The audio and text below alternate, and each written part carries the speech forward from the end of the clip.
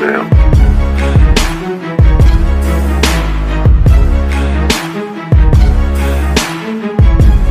Ha ha ha ha ha ha!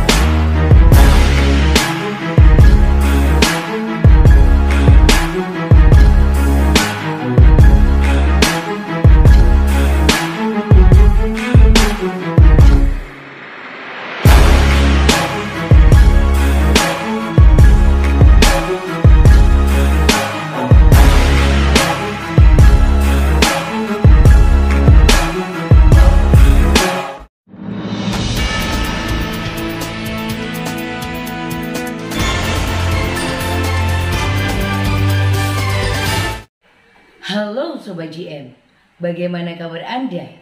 Pastinya sehat selalu ya. Masih bersama Anin yang akan mengupas tuntas fakta dan berita terbaru mengenai dunia militer yang ada di Indonesia. So pastikan kalian tetap stay tune terus di YouTube channel Garuda Muda dan jangan lupa like, subscribe, serta aktifkan notification-nya biar kalian gak ketinggalan update berita terbaru mengenai dunia militer dari Garuda Muda.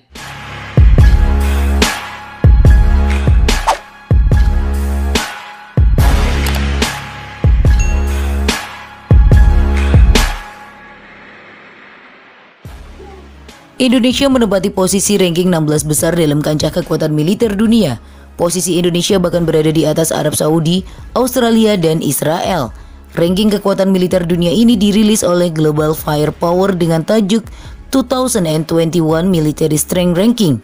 Nilai firepower atau kekuatan militer yang ditampilkan ini menggunakan lebih dari 50 faktor individu untuk menentukan skor power index suatu negara dengan kategori mulai kekuatan militer, kekuatan keuangan, hingga kemampuan logistik dan geografi.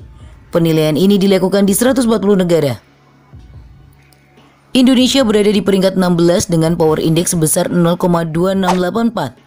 Posisi pertama diduduki oleh Amerika Serikat dengan nilai 0,0718. Semakin kecil angka power index, maka semakin tinggi kekuatan militer suatu negara. Posisi Indonesia ini kemudian disusul oleh Arab Saudi pada peringkat ke-17 dan Spanyol peringkat ke-18. Lalu ada Australia yang berada pada peringkat ke-19 dan Israel yang berada pada peringkat 20. Nilai power index itu menggambarkan Indonesia tercatat menempati peringkat keempat dunia dengan 267 juta jiwa. Sementara itu total personel militer dicatat sebanyak 400 ribu personel. Kekuatan cadangan senjata nuklir tidak dipertimbangkan, namun dugaan terhadap kepemilikan nuklir akan dihitung sebagai bonus. Status suatu negara sebagai dunia pertama, dunia kedua, dan dunia ketiga menjadi faktor pertimbangan. Faktor geografis, fleksibilitas logistik, sumber daya alam, dan industri lokal berpengaruh terhadap ranking final. Total sumber daya manusia menjadi pertimbangan kunci dalam pemeringkatan ini. Negara yang terkurung daratan tidak akan dihitung kekurangan angkatan laut. Kekuatan angkatan laut dihitung dari keragaman aset yang tersedia. Sedangkan alat utama sistem persenjataan yang dihitung dan diperbandingkan ialah total unit alutsista.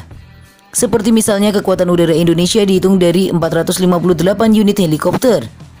Penilaian terhadap alutsista tidak didasarkan pada jenis alutsista atau tahun produksi alutsista tersebut. Indonesia memang diketahui menjadi langganan 20 besar ranking kekuatan militer dunia versi GFP.